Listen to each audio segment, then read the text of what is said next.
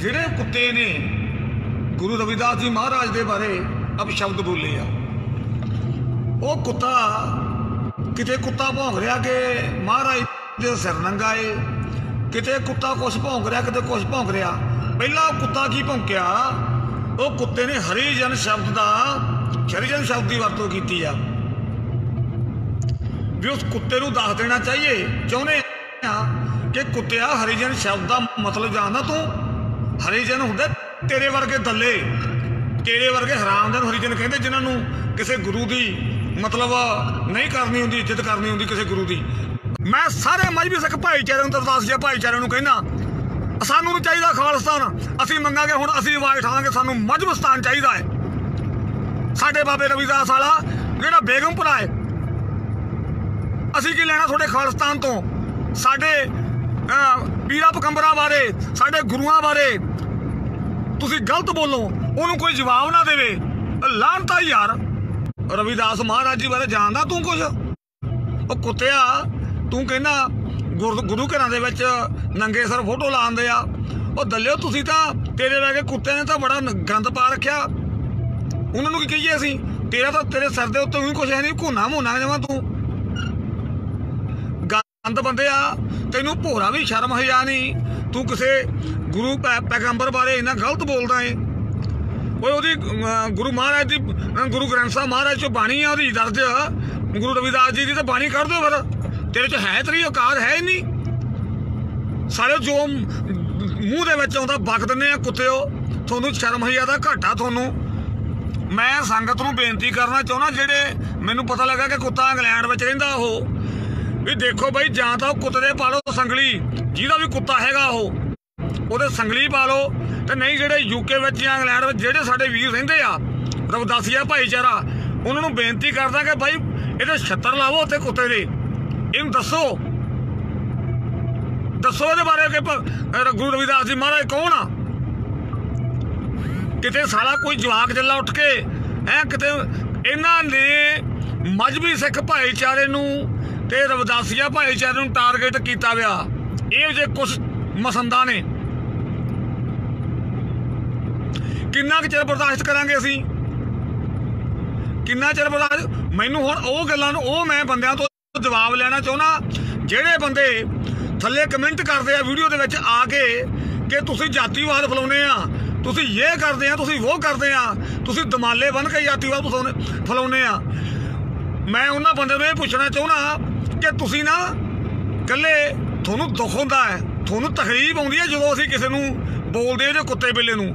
ਤੁਹਾਨੂੰ ਤਕਲੀਫ ਆਉਂਦੀ ਆ, ਤੁਸੀਂ ਉੱਥੇ ਆਉਦਾ ਚਾਹੇ ਤੁਸੀਂ ਅਮਰਧਾਰੀ ਆ, ਚਾਹੇ ਤੁਸੀਂ ਬਾਣੇ ਪਾਏ ਆ, ਪਰ ਜਦੋਂ ਅਸੀਂ ਉਹਨਾਂ ਕੁੱਤਿਆਂ ਨੂੰ ਕੁਝ ਬੋਲਦੇ ਆ ਨਾ, ਤੇ ਤੁਸੀਂ ਤਕਲੀਫ ਮੰਨਦੇ ਆ ਕਿ ਸਾਡੇ ਜਾਤ ਭਾਈ ਨੂੰ ਇਹ ਸਿੰਘ ਬੋਲ ਰਹੇ ਆ। ਉਦੋਂ ਤਕਲੀਫ ਮੰਨਦੇ ਆ ਤੁਸੀਂ, ਪਰ ਤੁਸੀਂ ਉਹ ਜ਼ਰੂਰਤ ਨਹੀਂ ਕਰਦੇ ਕਹਿਣ ਦੀ ਵੀ ਦੱਲਿਓ ਗੁਰੂ ਰਵਿਦਾਸ ਮਹਾਰਾਜ ਜੀ ਦੀ ਤਾਂ ਬਾਣੀ ਦਰਜ ਆ ਗੁਰੂ ਗ੍ਰੰਥ ਸਾਹਿਬ 'ਚ। ਉਹ ਤੇਰੇ ਵਰਗੇ ਕੁੱਤਿਆਂ ਦੀ ਕੀ ਦੇਣਾ ਕੌਮ ਨੂੰ?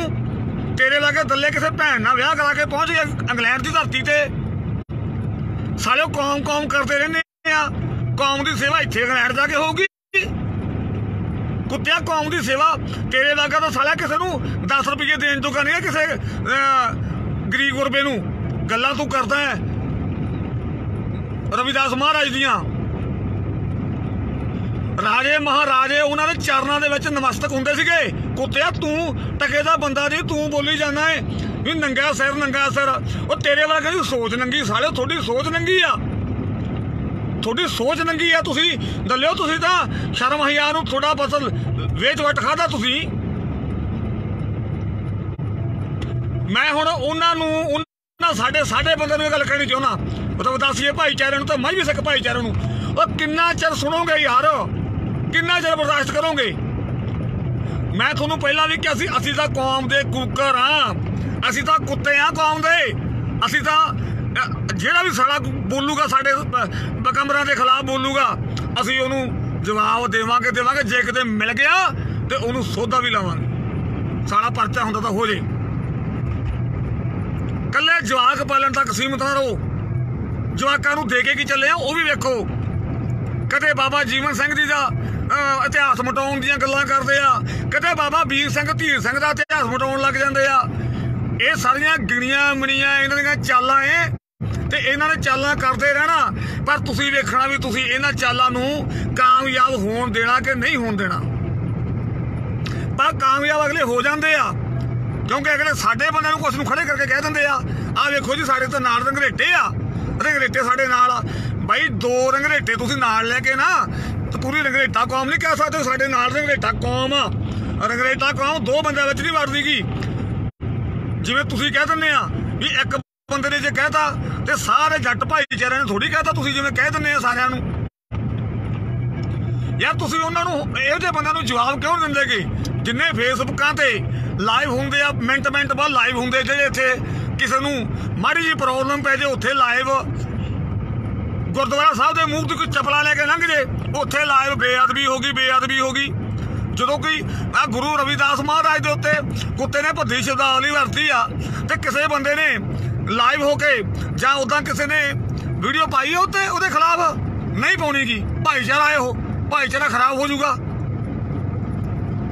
ਤੇ ਗੱਲਾਂ ਗੱਲਾਂ ਨੌ ਮਾਸ ਦਾ ਰਸਤਾ ਏ। ਮੈਂ ਸਾਰੇ ਮਜਬੀ ਸਿੱਖ ਭਾਈਚਾਰੇ ਨੂੰ ਦਰਦਾਸ ਜੀ ਭਾਈਚਾਰੇ ਨੂੰ ਕਹਿੰਦਾ ਸਾਨੂੰ ਨਹੀਂ ਚਾਹੀਦਾ ਖਾਲਿਸਤਾਨ। ਅਸੀਂ ਮੰਗਾਂਗੇ ਹੁਣ ਅਸੀਂ ਆਵਾਜ਼ ਉਠਾਵਾਂਗੇ, ਸਾਨੂੰ ਮਜਬਸਤਾਨ ਚਾਹੀਦਾ ਹੈ। ਸਾਡੇ ਬਾਬੇ ਰਵਿਦਾਸ ਵਾਲਾ, ਜਿਹੜਾ ਬੇਗਮਪੁਰਾ ਹੈ। ਅਸੀਂ ਕੀ ਲੈਣਾ ਤੁਹਾਡੇ ਖਾਲਿਸਤਾਨ ਤੋਂ? ਸਾਡੇ ਪੀਰਾ ਪਕੰਬਰਾਂ ਬਾਰੇ, ਸਾਡੇ ਗੁਰੂਆਂ ਬਾਰੇ। ਤੁਸੀਂ ਗਲਤ ਬੋਲੋ, ਉਹਨੂੰ ਕੋਈ ਜਵਾਬ ਨਾ ਦੇਵੇ। ਲਾਂਤਾ ਯਾਰ।